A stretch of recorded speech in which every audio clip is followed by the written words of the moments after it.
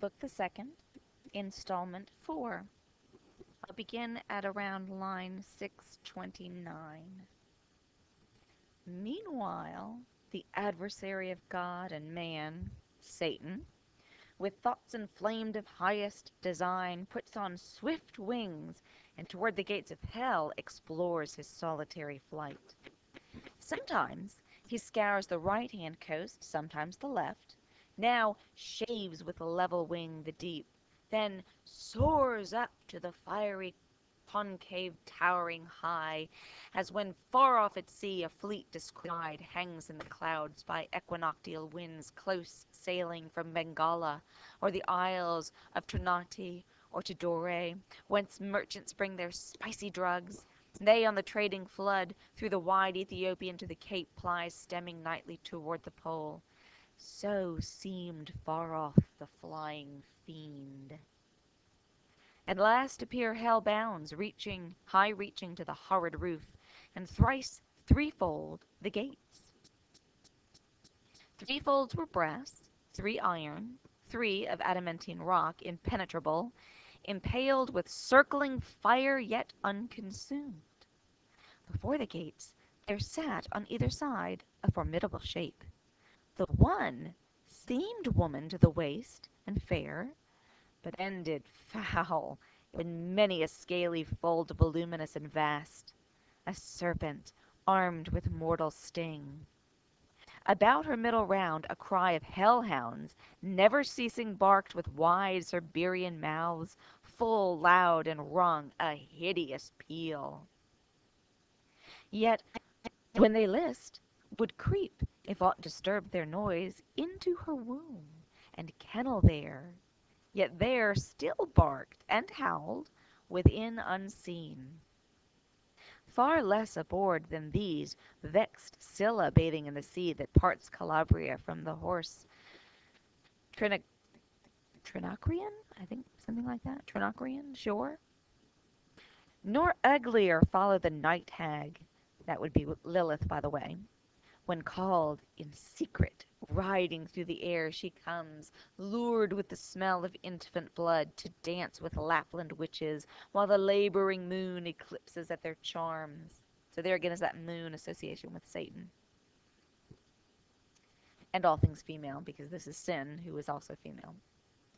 The other shape, if shape it might be called, that shape had none distinguishable in member, joint, or limb, or substance might be called, that shadow seemed, for each seemed either. Black it stood as night, fierce as ten furies, terrible as hell, and shook a dreadful dart. What seemed his head, the like the likeness of a kingly crown had on. Satan was now at hand, and from his seat the monster moving onward came, as fast with horrid strides. Hell trembled as he strode the undaunted fiend, what this might be admired, admired, not feared. God and his Son except, created thing not valued he, nor shunned, and with disdainful look thus first began.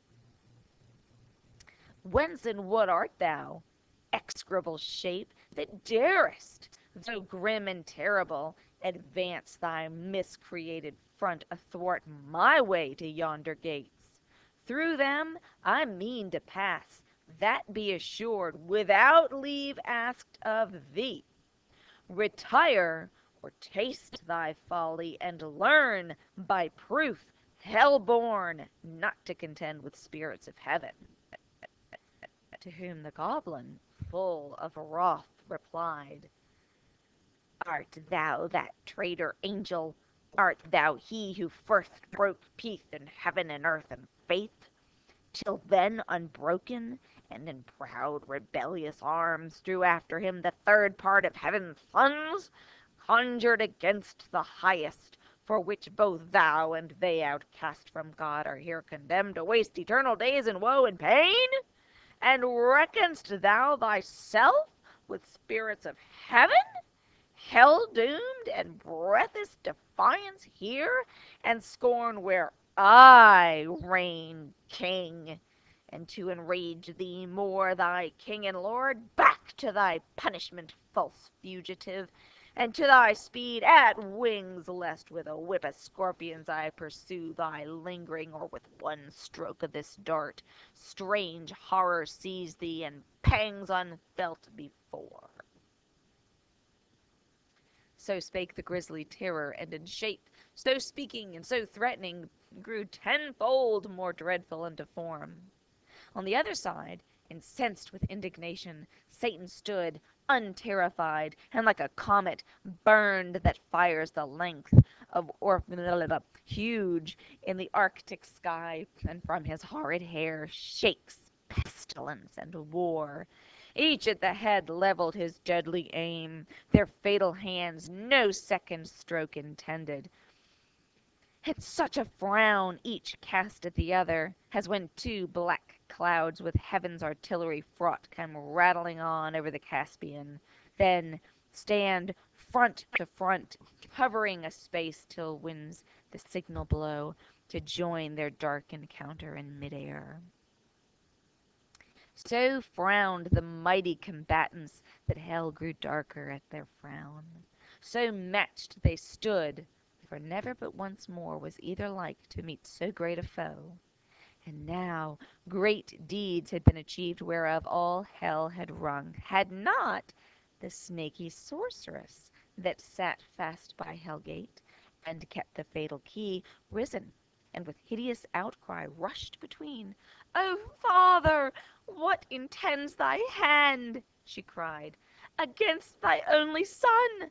What fury, O son, possesses thee to bend that mortal dart against thy father's head?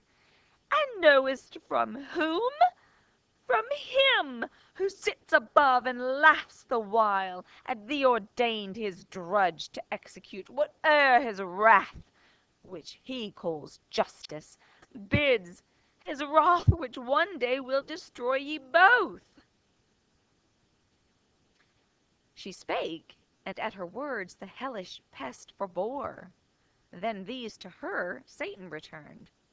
"So strange thy outcry, and thy words so strange Thou interposit'st that my sudden hand, prevented, Spares to tell thee yet by deeds what it intends, Till first I know of thee what thing thou art Thus double formed, and why, in this infernal vale First met, thou callest me father, and and that phantasm callest my son. I know thee not, nor ever till now sight more detestable than him and thee." To whom the portress of Hell gate replied, "Hast thou forgotten me then? And do I seem now in thine eyes so foul, once deemed so fair in heaven, when at the assembly and in sight of all the seraphim with thee combined in bold conspiracy 'gainst heaven's king? All on a sudden miserable pain surprised to thee, dim thine eyes, and dizzy swum in darkness, while thy head flames thick and fast, threw forth till on the left side opening wide, likest to thee in shape and countenance bright, then shining heavenly fair, goddess armed out of thy head, I sprung. Amazement seized all the host of heaven. Back they recoiled, afraid, and first and called me Sin, and for a sign portentous held me. But familiar grown I pleased, and with attractive graces won the most averse, thee chiefly, who, full oft thyself in me thy perfect image viewing, becamest such joy thou tookest with me in secret, that my womb conceived a growing burden. Meanwhile war arose, and fields were fought in heaven, wherein remained, for what could else, to our almighty foe clear victory; to our part, loss and rout through all the empyrean. Down they fell, driven headlong from the pitch of heaven, down into this deep, and in the general fall, I also, at which time this powerful key into my hand was given with charge to keep these gates for ever shut, which none can pass without my opening. Pensive here I sat, alone, but long I sat not, till my womb, pregnant by thee, and now excessive grown, prodigious motion felt, and rueful throes.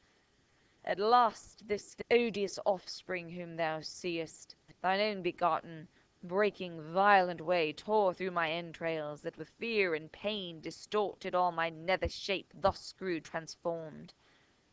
But he, my inbred enemy, forth issued, brandishing his fatal dart, made to destroy. I fled and cried out, Death! Hell trembled at the hideous name, and sighed from all her caves, and back resounded, Death! I fled, but he pursued, though more, it seemed, inflamed with lust than rage, and swifter far me overtook his mother, all dismayed, and in embraces forcible and foul, engendering with me of that rape begot these yelling monsters that with ceaseless cry surround me, as thou sawest, hourly conceived and hourly born, with sorrow infinite to me.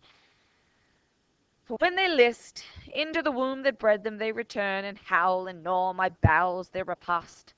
Then, bursting forth afresh with conscious terrors, vex me round, that rest or intermission none I find. Before mine eyes in opposition sits grim Death, my son and foe, who sets them on, and me, his parent, would full soon devour for want of other prey, but that he knows his end with mine involved, and knows that I would prove a bitter morsel, and his bane, whene'er that shall be. So fate pronounced.